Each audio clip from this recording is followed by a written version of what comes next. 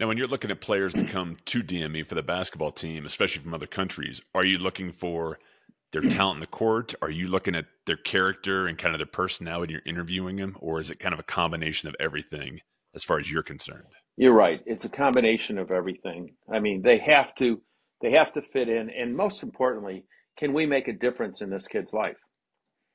That's that's that's the big deciding factor. We want to make sure that we can have a chance at them reaching a level of excellence. I mean, when you think about it, there's there's five choices these kids have. They can be bad, which doesn't take much effort. They can be average, which is sort of what most kids are.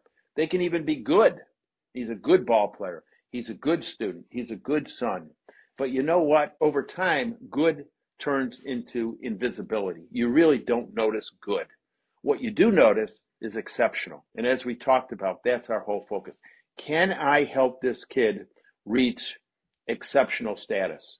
And that takes into consideration a whole lot of different attributes, not just his jump shot, not just his vertical. As a matter of fact, oftentimes, if that's what you focus on, you're going to be very unsuccessful because the NBA is just a, it's a dream. It's a very rarely do we have kids like the Murray brothers that come through DME, you know, and, and keep in mind what happened with them. They came as post grads.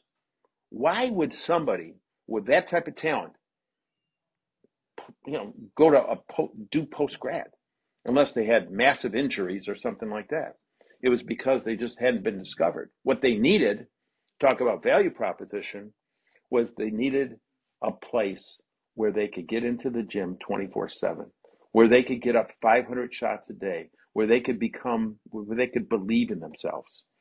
And the Murray brothers, as well as many other kids, have that opportunity.